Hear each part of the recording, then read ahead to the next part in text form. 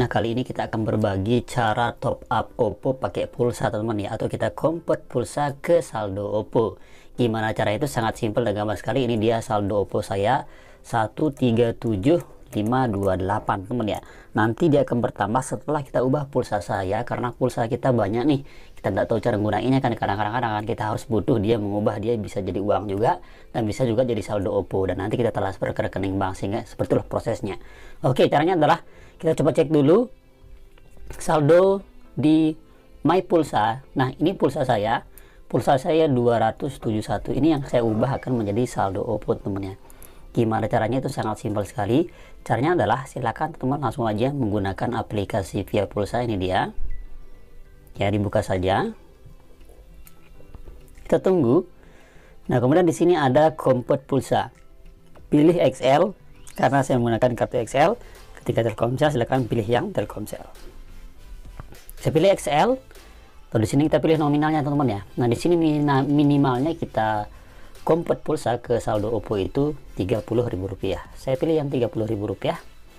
Nah nanti di sini akan kita terima itu 22.000 teman-teman ya. Ya jadi 22.000 yang akan kita terima dari convert pulsa ini artinya yang sisanya itu untuk via pulsa. Lalu nomornya di sini nomor HP yang ada pulsanya tadi teman-teman ya. Kita isi saja.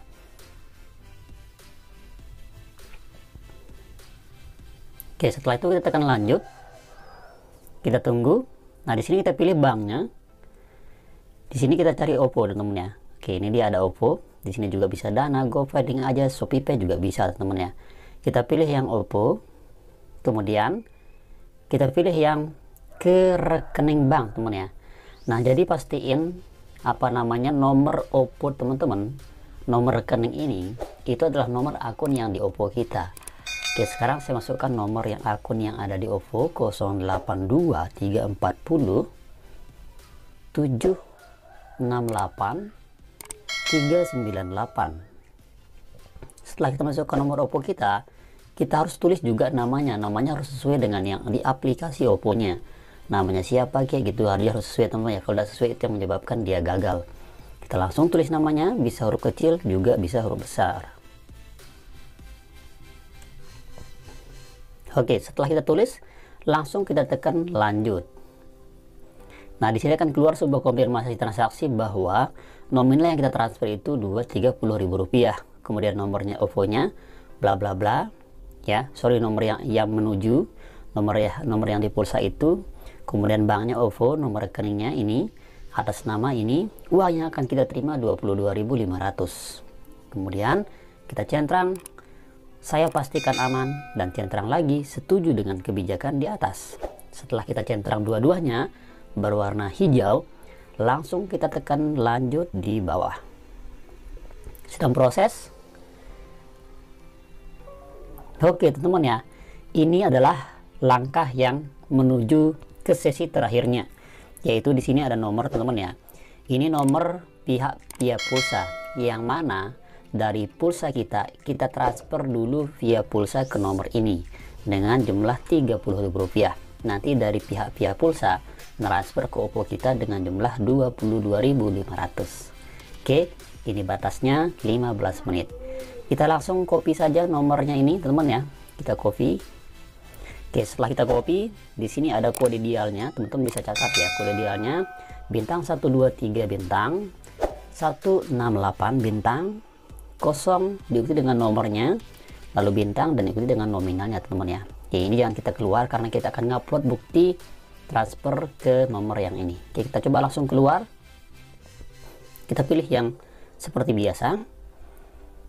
Kita tulis di sini bintang 12 bintang ingat ya. Kemudian 168 diikuti dengan nomor yang tadi ya. Bintang diikuti dengan nomor yang tadi sudah kita copy di sana. Lalu bintang lagi diikuti dengan jumlah yang mau kita convert Rp30.000 baru pagar. Nah setelah kita pilih pagar seperti ini next langkah berikutnya langsung kita telepon menggunakan nomor yang ingin kita isiin yaitu XL berarti SIM 1